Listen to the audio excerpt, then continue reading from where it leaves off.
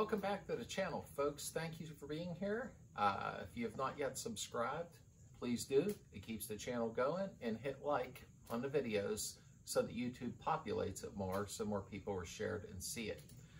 Uh, today, we are going to start number two engine teardown. Uh, in the previous video, you've seen that the motor I picked up for $200 had new pistons, new oil pump, new pushrod tubes, uh, really nice head, so I got the parts all off of that. Uh, engine number two is the one that came out of the running parts car that I had. Uh, however, I am going to put new pistons on, uh, polish the heads up, do a few things like that. Uh, and I think that's about it for this motor that I'm going to be tearing down. You'll watch me put it all together, of course, but I plan on building an engine over the winter or early spring next year because I would like to buy a brand new block and possibly go with an 88 millimeter big bore kit with the nicer heads, the upgraded heads, and a 74 millimeter crank, which I'll clearance in the garage myself with my Dremel because you can do that with 74 millimeter. But you'll get to see all that. I got way ahead of myself. Uh, okay, we're going to do engine teardown today. And I'm going to show you how your thermostat should function, which I found out mine isn't. So I got some decisions to make there. But uh, let's get on it. Thanks. Ford, I believe it's an AH. Where are you? AH. Okay. Firing order's the same on all these. One, four, three, two. One, two, three, four. All right.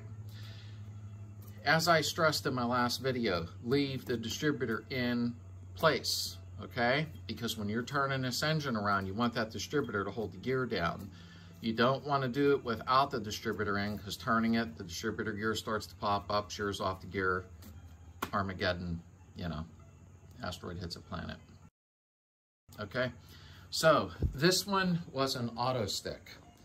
Now I did remove the flywheel from the torque converter already to bear you the pain of watching me pry it off because it was on there for a while. So a little PB blast, a little cleanup work, and it came off. So it wasn't fun. That one was stuck on there, and I have no idea why it was so horrifying. But I did take the back plate off already. The one that goes on the back of the motor.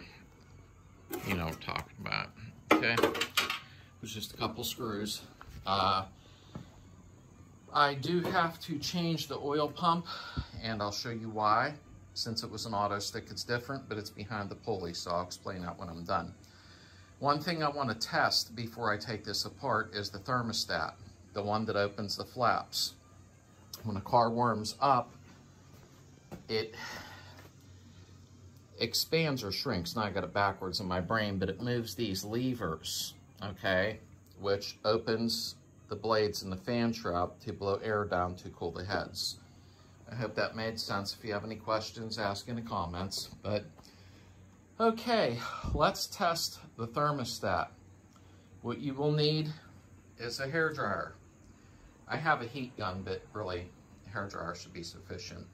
I'm gonna heat it up and see if it moves. If it don't, it's bad. Always try to get an original German one if possible. I know they sell aftermarket ones. I don't know how great they are, but I will find out before this video is completed.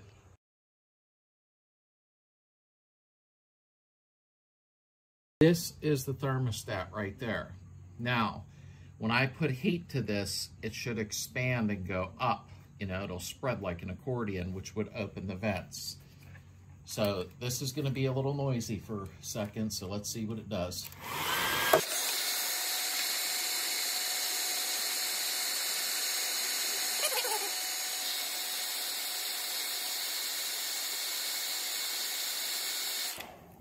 All right, it didn't do anything. Okay, when I do remove it, I'm going to test it while it's not on the engine, uh, just see if it needs cleaned up or something. If this is not working, replace it. That is what controls the flaps in the fan shroud to have the cool air come down and hit the heads. Uh, you got to take this apart first before we remove that fan shroud though, because there's a rod that comes down through. Let me explain. There's a rod that comes down through and hooks to that. okay, that hooks to the flaps inside the fan shroud, and I'll show you when I take it apart. So let's disconnect that first while it's, since it's out of the way. Okay, so on the thermostat, you have a bolt here and you have a bolt there. This bolt holds the bracket, that one holds the thermostat. So let me get a socket. Okay, 13 millimeter. Trying to stay out from blocking your view.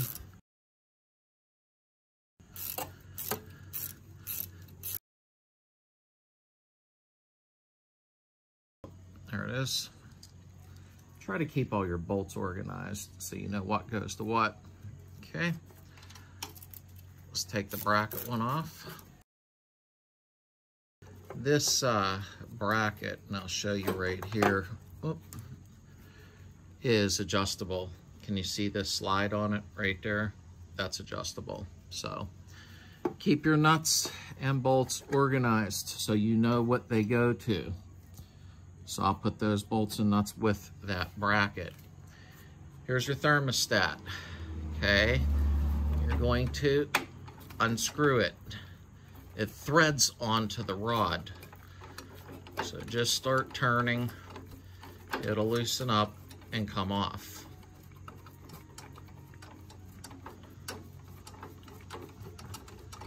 It'll get there. It's threaded in pretty good. And I'm going to test this off the vehicle too. I'm gonna try to clean it up a little. I don't know if that's possible, but it looks a little gummed up.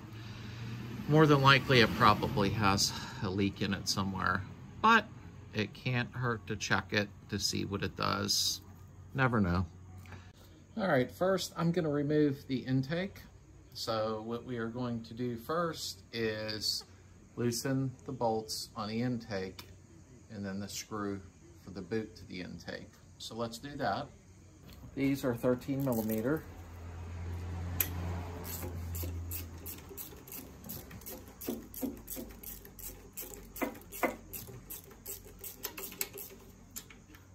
One.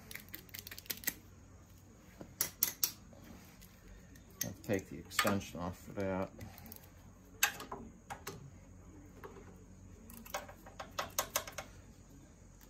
Mm. Oh.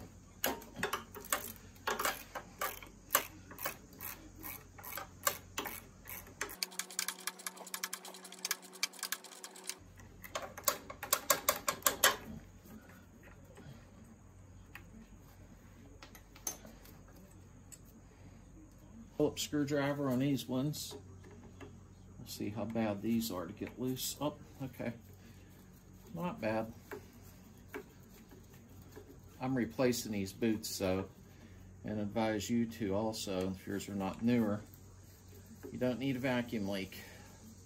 So if they tear take them apart, don't panic. They're really not that expensive.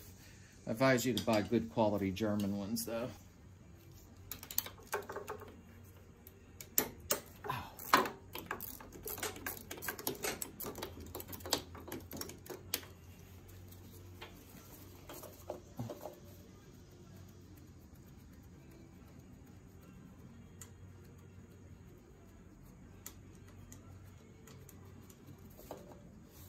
Okay, one thing to do is down inside here, see that nut? That holds the intake down. Loosen that up. You can get to it through here with a 13 millimeter, okay? Once that's loosened up, the intake will move around and give you play to get the end cast off. There we go.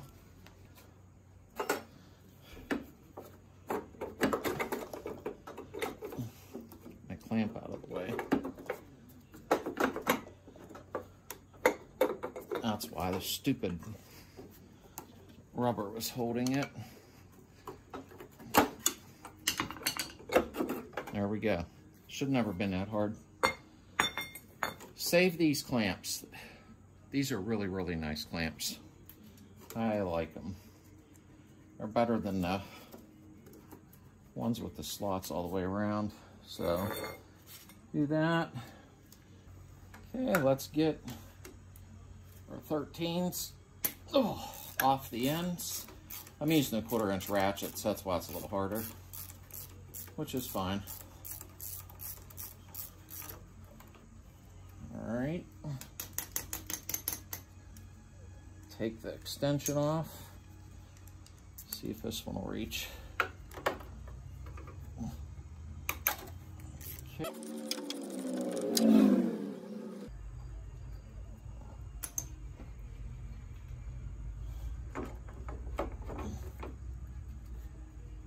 Washer and washer. Let's get them screws loose.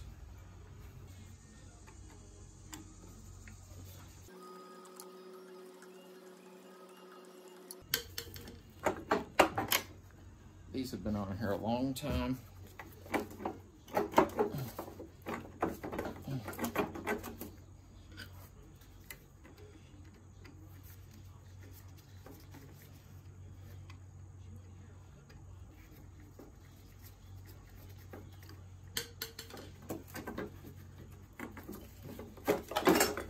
go. And the intake will come off. You got to take the alternator strap loose that holds it to the generator or alternator stand. There's a bolt right down there. It's 13 millimeter.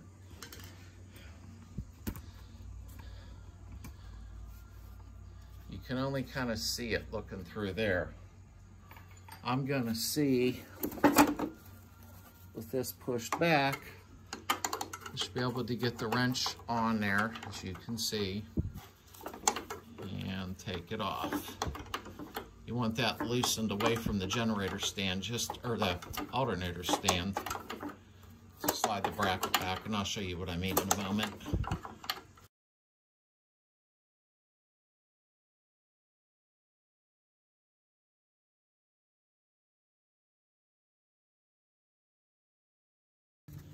As you see, that's the strap to the alternator and it holds it to the stand.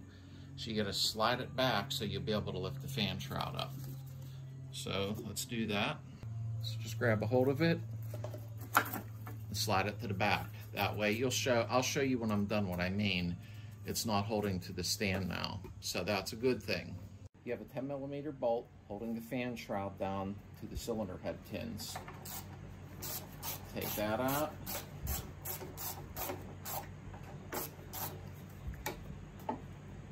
Okay, I'm gonna leave that partially in because it's slotted. It'll pull up and out.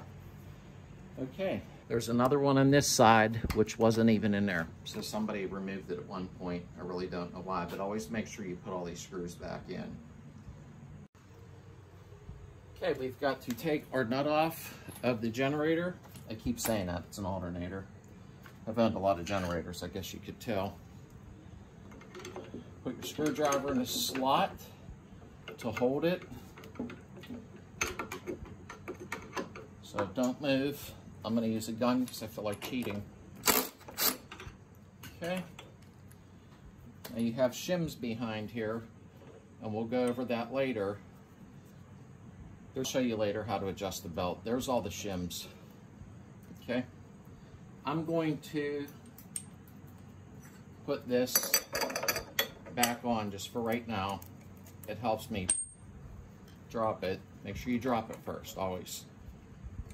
Helps me from having parts all over the place.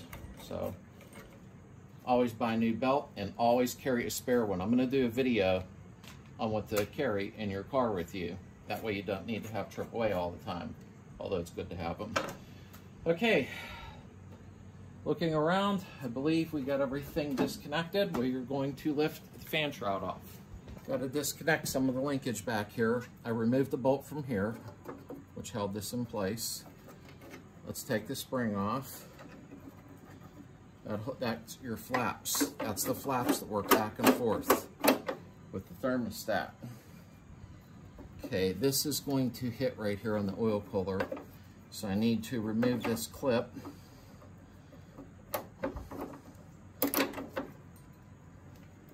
is. Don't lose those. Okay. Come up around here. I believe the fan shroud will just pull off now.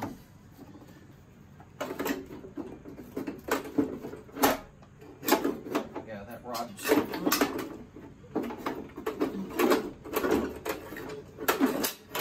There we go. I'll show you something here a minute.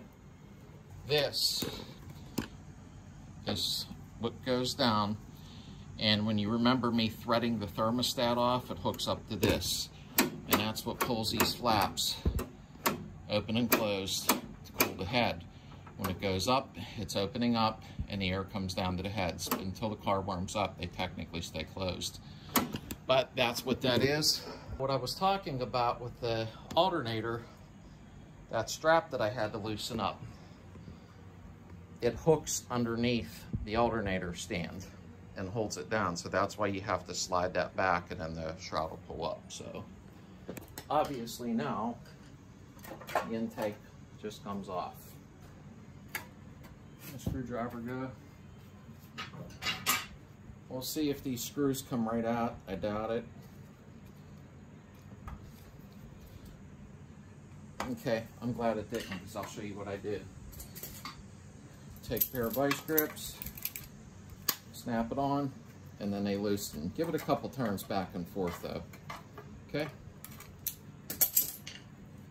This one's broke off there. What I'm going to do, because I don't like these screws, see, you start rounding out. I'm going to take one of them with me to Ace Hardware or whatever hardware store you have by you and instead of screws get little bolts but make sure you get them the same thread pitch because they thread into the heads and get them the same exact length and I'll probably have a 10 millimeter bolt head on them so you're better off doing that to be honest with you instead of messing with these screws later put little bolts in there it'll make life much simpler when you got to take it apart again and what I highly advise with these and I highly advise it. When you put the new bolts in, use copper high heat anti-seize. And they'll always come out. Okay? Got it. Let's see if these fight with me.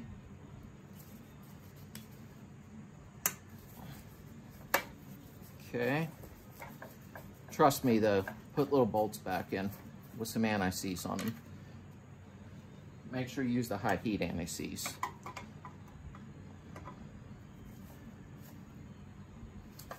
Okay.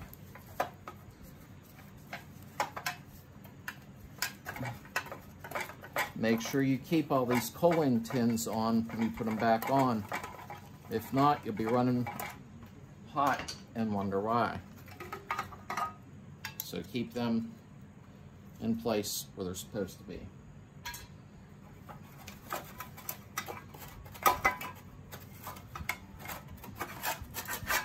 There we go. One tin off. Don't get a bunch of crap in your heads, but I'm pulling these heads off, so it doesn't matter.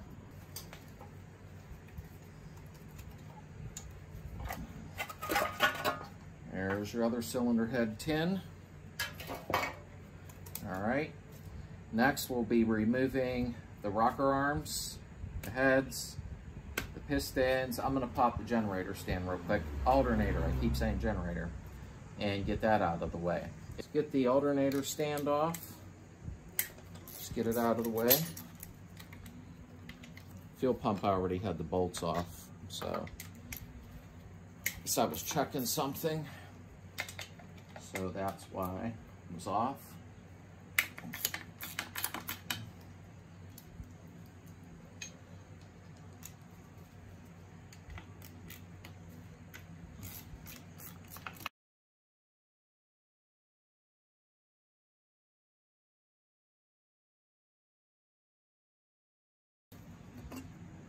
Oh, they had it on right.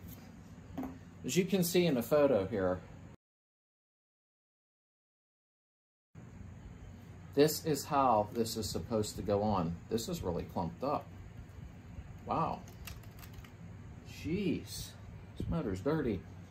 That should not be clumped up like that. I'll get it all cleaned.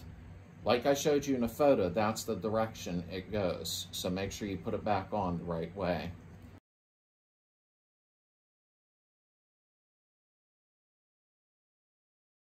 I'm gonna leave that on for right now though to keep some stuff out of there. So, 13 millimeter nuts on the rocker arms.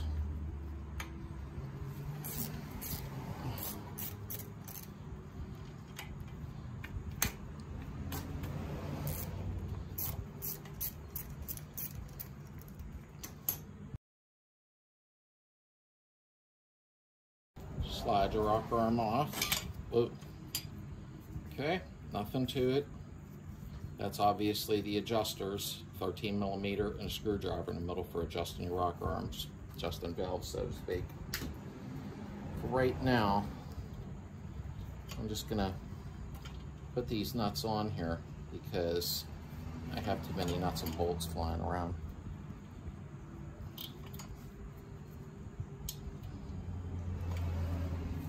Okay, take push rods out, keep them in order. Some people like to, I'm going to.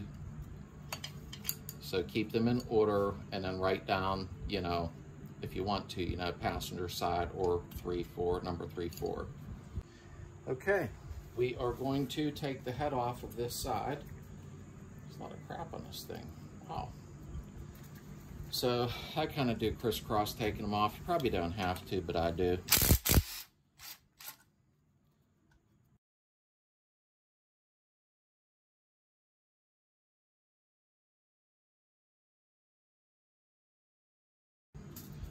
Let's see how hard it is to get this head off now.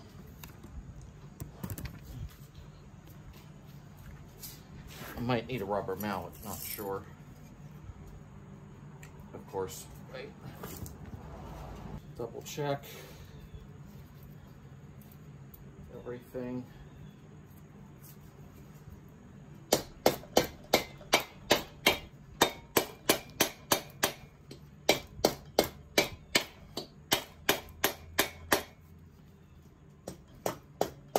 Don't beat your tins up. Should have this on the engine stand. Pull towards you while you're doing that. Here it comes. Oops. Push rod tube fell out.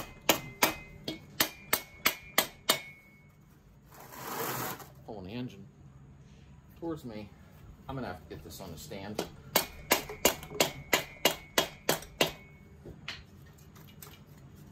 Of the pistons are coming out with it, or the cylinder head.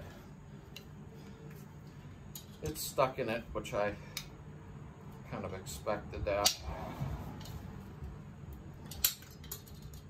I'm not, oh, busted the one fin. I'm not using these pistons. Come on, here we go. Okay. Don't forget this heat shield's important. It snaps up between number three and four. So don't forget to put that back on. Okay. There's the other jug. All right, we're not reusing these. It didn't look that bad. I really didn't look too, too bad. But as cheap as pistons are, better off putting new ones on anyhow. Ooh, number three. There's a surprise, huh? Okay, let's go to the other side. I keep these nuts stuff on there. Just so, guess where that went?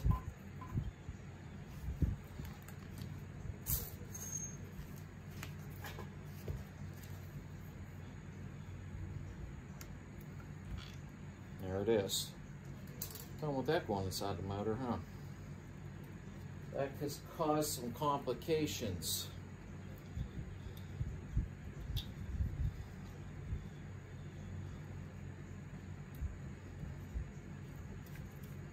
Okay, let's loosen this head up.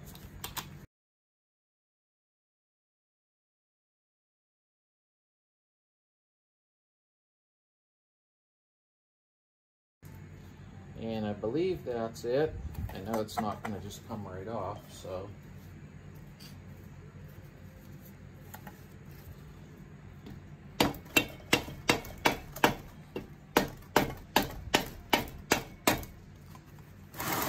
Should have put this on a stand. My fault.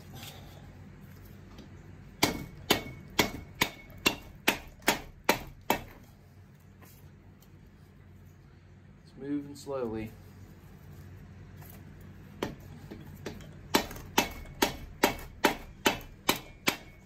Remember, don't break your fins.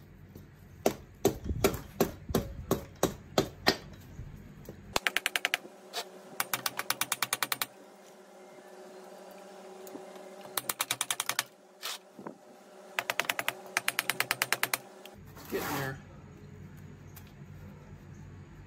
This piston cylinder's coming with it on this side.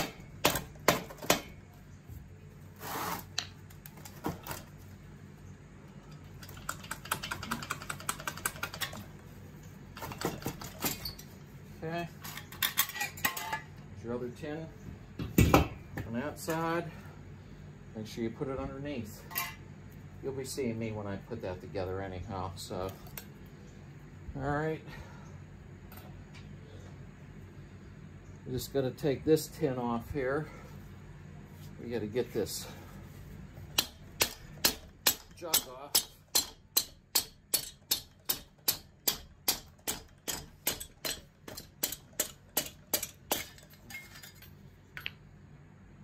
Yeah, they weren't that great.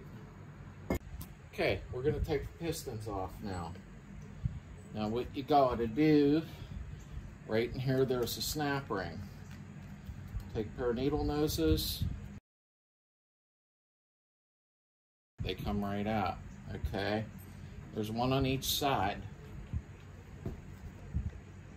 Take that one out. Get something that seats inside of here, like that. And you're gonna knock the wrist pin out. Right out.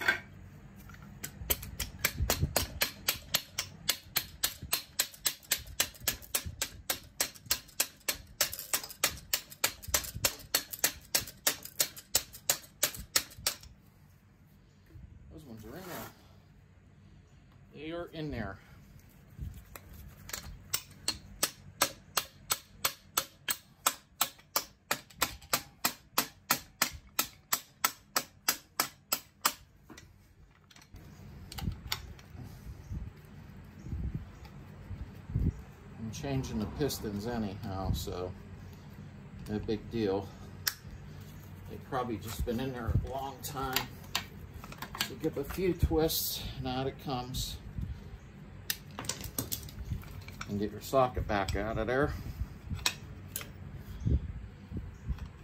There comes your piston.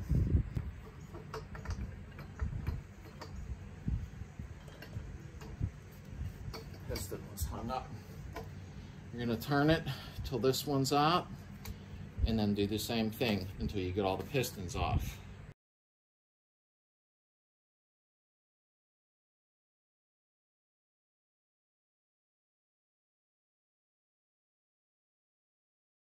Okay, this will lift right up and off. There's black ones on here, so I gotta see if I have black. They take, wow, these ones are hard as rock. And then this comes off like that. I wanna flush and clean it all out, so. But, oops. I like to put stuff back together. Try to spin some nuts and bolts back on just so you don't lose your stuff. There's the rings right there. You don't want them to leak or you will have an issue, okay? Okay, I do not have a 28 millimeter socket. I must have loaned it out at one point or something. I put the flywheel lock on the other end, lock the flywheel in place. I threw it on real quick and I'm just using a crescent wrench to break this loose. Like that. Now I don't know how hard this will be to get off. Sometimes they come right off, sometimes they don't, and I don't have a puller. So hopefully, no, no, it ain't gonna come right off. Of course not, because that's my life.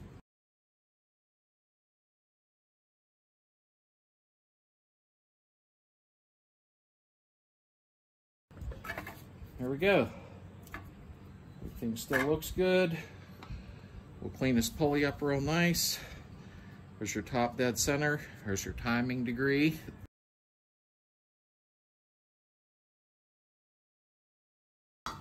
Okay, I gotta take these tins off here.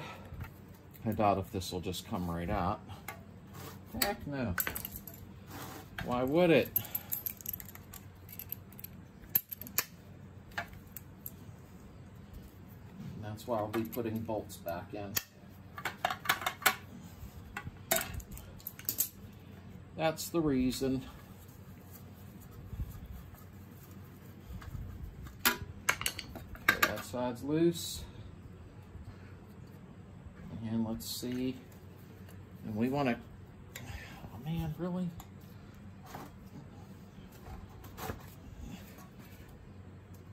Mm -mm. I want to clean these all up and paint them real nice. Because that's what you should do. If you want it to look good, people cheer you on.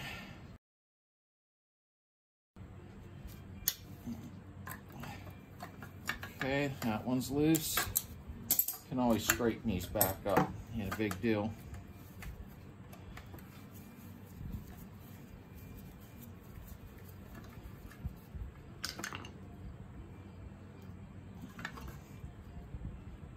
See? That's all you do. There's your oil pump.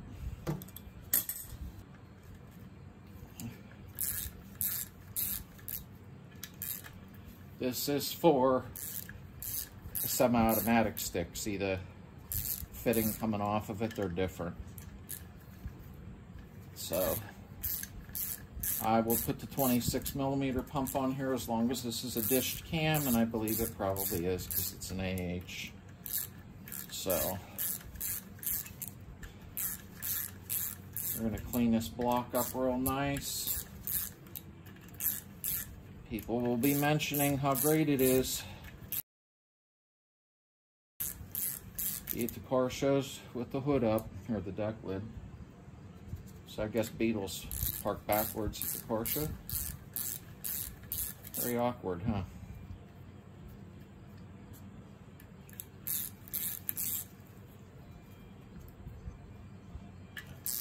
Okay.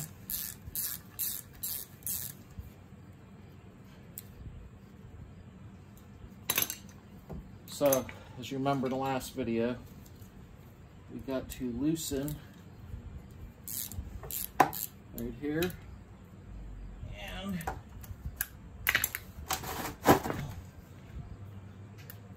we got to relieve the pressure off the case.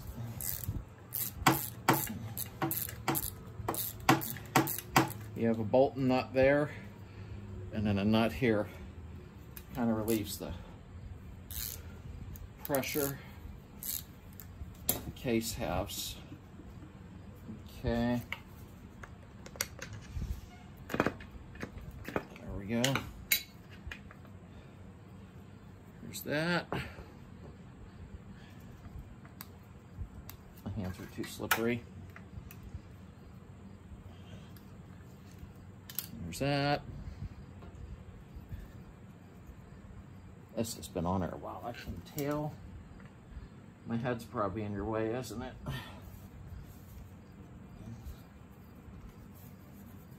Let me give it a little tap.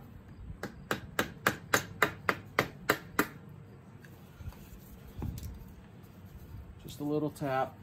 My head's in your way again, sorry.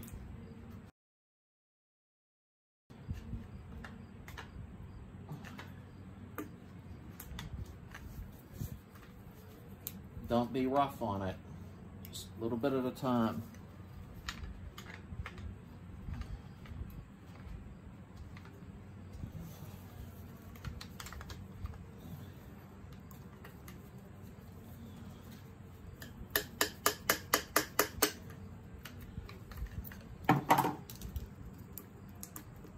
There it comes. There you go. And that's a dish cam. So I'll use my 26 millimeter oil pump. We're gonna get this all cleaned up the first. I'll shove rags in all the holes, clean the block real pretty. Okay, So, I'm looking around because I'm not splitting the case on this particular engine. I don't need to, but I am going to do it on another one. And you'll get to see that when I do a complete rebuild. So that's pretty much what I'm taking off of this. Uh, the only thing left would be to split the case and change the bearings and the cam, which I just don't need to do that on this motor, so there's no point in taking this one apart. Not a good engine. I don't want to do that to it. It's a waste of money and time, but that's okay, because I'll be doing the other one before you know it. And you'll get to enjoy me doing that. I don't know, and enjoy, but, you know, just want to snug them back up for right now. Okay, so we disassembled the second engine. That is the good engine, for except the pistons and that. On the other engine, I have brand new pistons to put on, really nice quality heads, but I am going to do a video, probably next, on cleaning and lapping the valves. So you'll see how that's done, and it's a good thing to do. You want them to seat properly. Uh, everything's off of this motor. I'll be splitting the case on the next engine and doing a total rebuild, but for right now, let's get this on the road. So you'll be seeing me lap the valves next in a video, and then a video after, you'll be watching the assembly of this engine and see it coming together. We've been a long way. If you remember when I got Gracie nine, ten months ago, I can't remember, this is what she looked like.